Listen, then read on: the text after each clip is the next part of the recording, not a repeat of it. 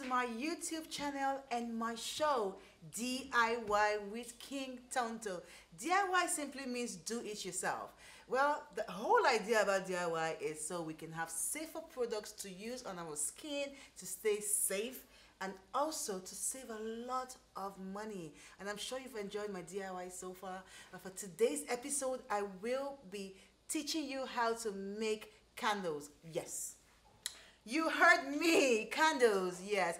Um, fragrance, scents are now a thing of the present, like the future. It's, it's, there's something about how your home smells. There's something about how you smell.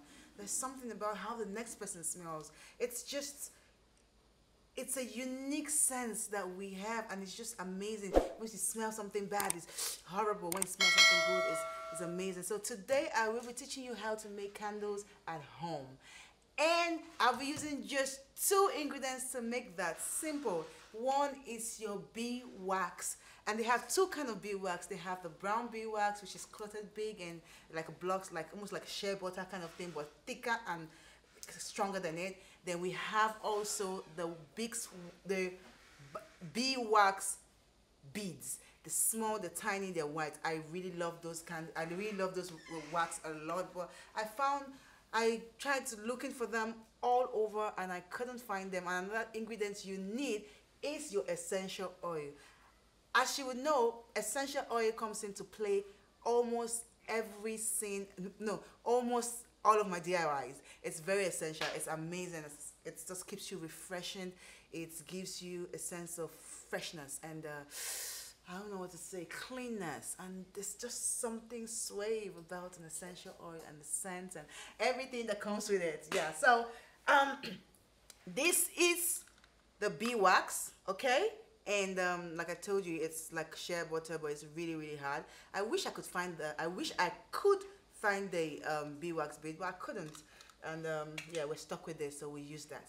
So you would also need your pan, like you see over there. I have a pan and I have a pot underneath. You, you need those two things in the making of your homemade candles. You also need, um, what they call this thing? Um, cans, containers. Um, there are actually um, candle containers in stores, but these are not actually candle containers, but I really love them. I've done a few candles in them before, and um, I really love how they turn out, the shape and everything. But here are some homemade candles I have made already and they're burning and the room actually smells so nice. And this one I use the bee wax beads which are white and these are brown.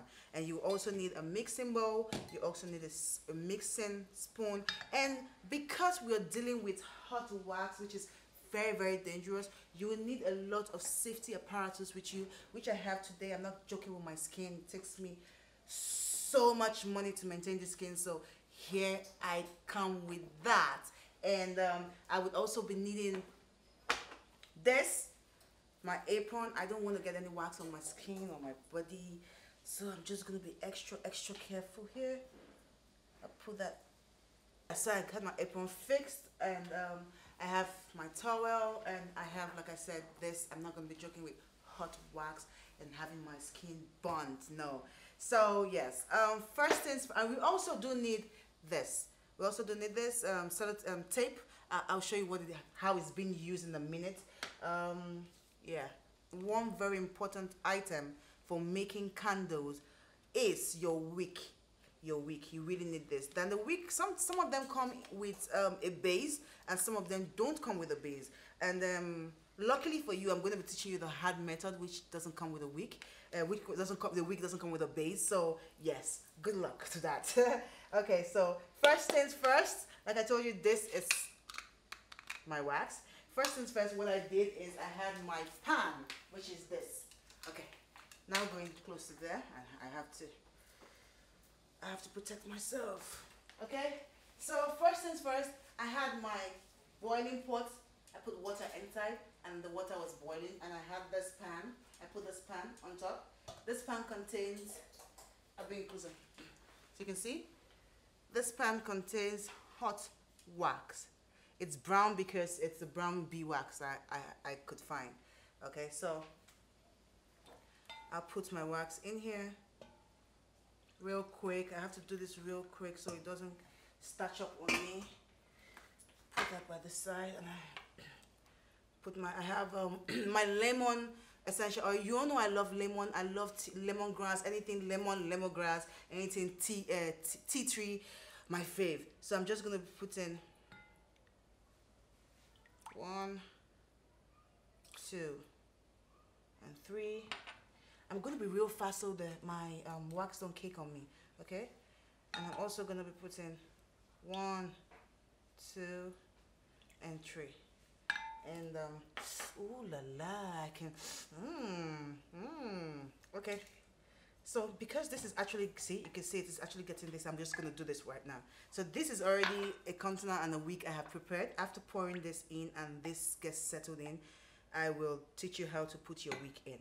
So, yeah.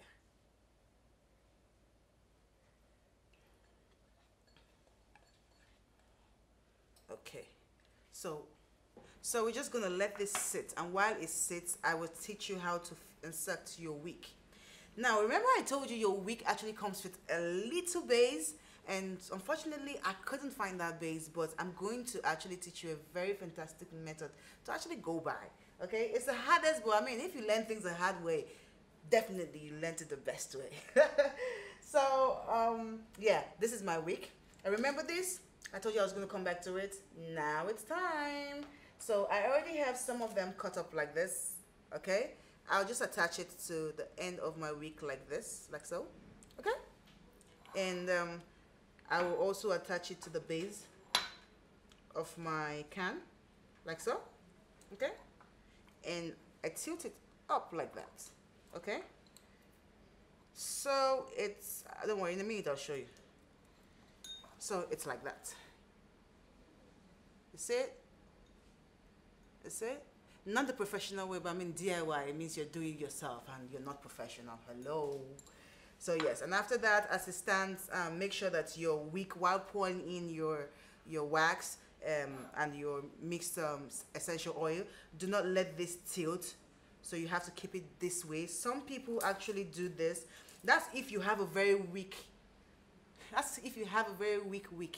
that sounded really nice. Well, yes, there are weak wick. There are wicks that don't erect like this. They're just only ropes. And how you have to do it is probably just, you know, put it on something like this to hold it down. That's another method. But this, I'm using a very strong wick, so I don't have a problem with that. Yes, so we'll come back to, woo, fantastic. Have you seen? Our candle is actually setting, okay? So now I notice that my candle it's it's way smaller than the whole bowl. The bowl is really big and candle is small, and my wick is coming out. So what do I do? I just give this a good trim, and voila, you have your homemade candle. Well, it's going to look really pretty and prettier when you have your wax bead beads, which are white it's going to look definitely prettier and most people actually put a lot of herbs in this i don't have herbs to show you how to put it but basically how you put your herbs are after this first layer first layer.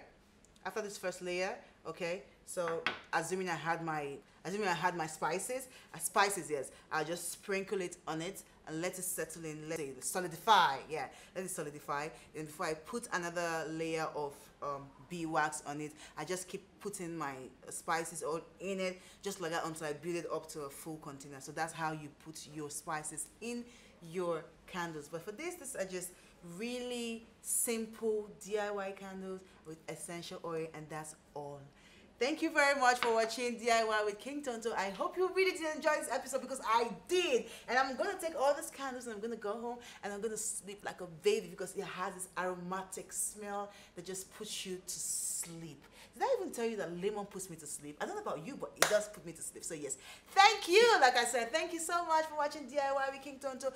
Tell your friends to tell a friend to tell a friend that there is a show called DIY with King Tonto and you can learn everything that you buy in the store.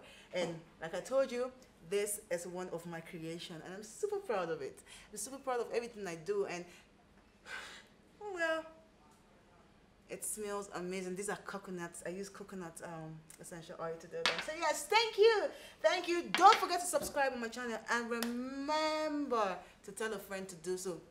Thank you.